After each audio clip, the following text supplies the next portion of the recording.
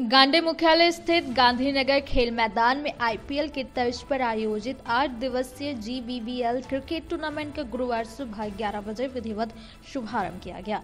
Tournament का उद्घाटन मौके पर मुख्य रूप से उपस्थित भाजपा के पूर्व जिलाध्यक्ष यदुनंदन पाठक समाज सेवी अर्जुन बैठा, गांडे पंचायत के मुखिया अमृतलाल पाठक ने संयुक्त रूप से फीता काटकर बल्लेबाजी कर व खिलाड़ियों से परिचय लेकर किया।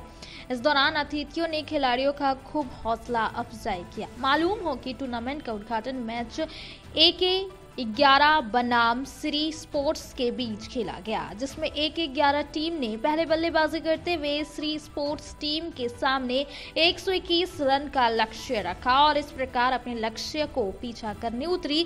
श्री स्पोर्ट्स ने मात्र नौ दशमलव दो ओवर में केवल इक्यासी रन पर ही सिमट कर रह गई और इस प्रकार एक एक ग्यारह ने उद्घाटन मैच अपने नाम कर लिया। बताया गया कि इस टूर्नामेंट में इम्पैक्ट प्लेयर का रूल्स रखा गया है, जिसमें प्रत्येक टीम को लीग मैच के रूप में तीन मैच खेलना है। इस टूर्नामेंट में कुल आठ फाइनेंसियर हैं, जो अपने अपने टीम का प्रतिनिधित्व कर रहे हैं। इस आठ टीम सदस्य टूर्नामेंट में गांधी, बेंगाबाद, नारायणपुर, मरगो मुंडा समेत अन्य प्रखंड के खिलाड़ी बीते 24 नवंबर को ऑक्शन के ज़रिए भाग लिए हैं। मालूम होगी टूर्नामेंट का पूरा खेल यूट्यूब चैनल के A M sport live channel पर प्रसारित की जा रही है।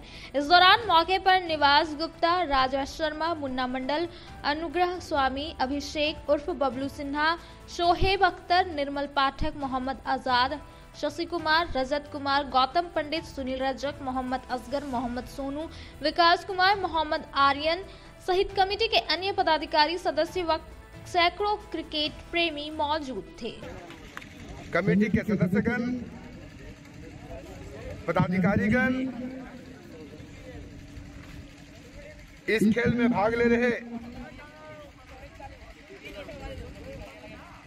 भारत और झारखंड के भविष्य प्रतिभावान खिलाड़ीगण और इस खेल के उद्घाटन करने के लिए आए हुए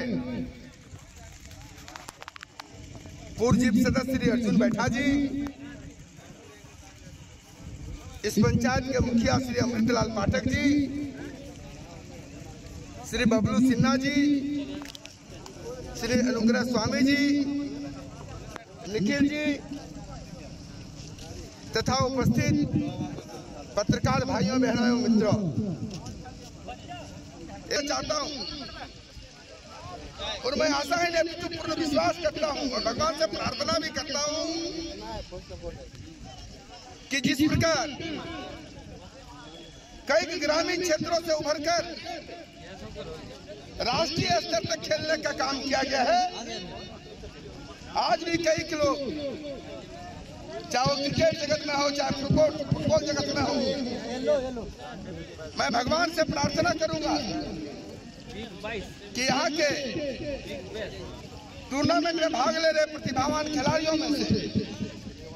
सफलता हासिल करे, गांडे, गिरिडीह, झारखंड और भारत का नाम रोशन करे। इन्हीं सब बातों के साथ मैं अपनी वाणी को विराम देता हूँ।